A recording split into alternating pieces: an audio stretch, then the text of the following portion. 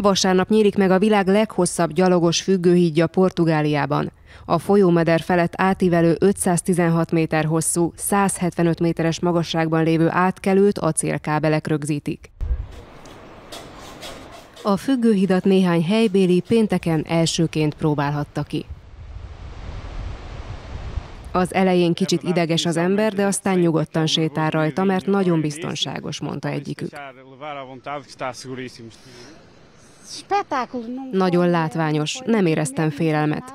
Teljesen jól vagyok, hangzott egy másik vélemény.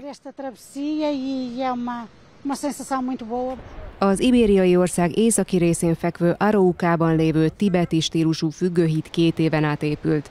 A munkálatok költsége megközelítette a 2,3 millió eurót, átszámítva 900 millió forintot.